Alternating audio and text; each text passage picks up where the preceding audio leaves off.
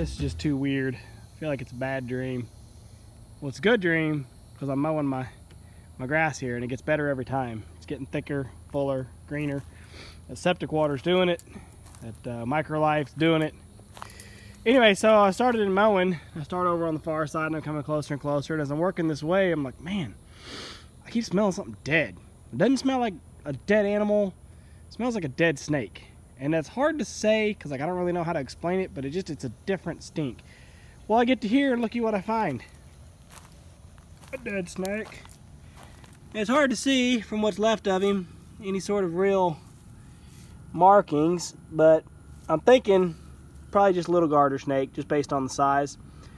Well, all right, so that explains the stink, I thought. Yeah, keep on mowing over here. And I was working on moving the bird netting in, because I mowed up close on this side, then I moved to this side and mow the other side. And I find another stinker. The real stinker. The big tuna.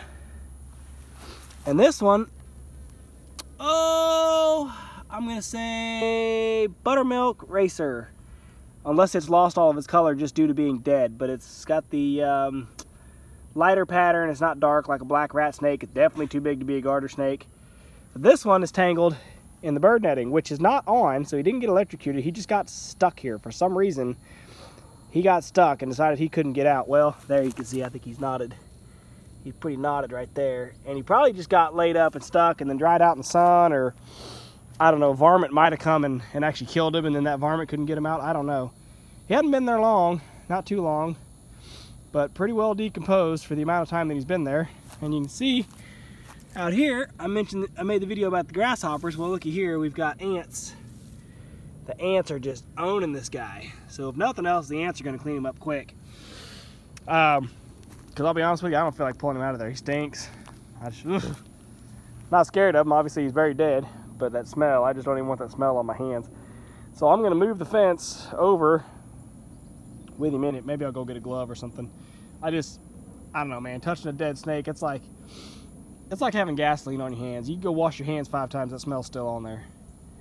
Uh, but yeah, that's kind of weird. It's almost eerie. Like I said, it's almost like it's a weird dream to find two dead snakes tangled in the mesh. That one was tangled in the in the straw underlayment mesh, and this one's tangled in the actual fence, to find two right here at the same time, same day, and these are the first two I've ever found stuck in the fence. Just kind of weird. I don't know. I haven't noticed any sort of heightened snake activity. I guess the grass has been getting taller, so it would give them reason to to be in this area, I guess. Um, I just mowed that last night, but I think this guy's more than a day old, so I don't think I ran him out of there last night. Anyway, yeah. Snake stuck in the fence, I guess. I guess that's what we'll call it. Oh, this is kind of cool.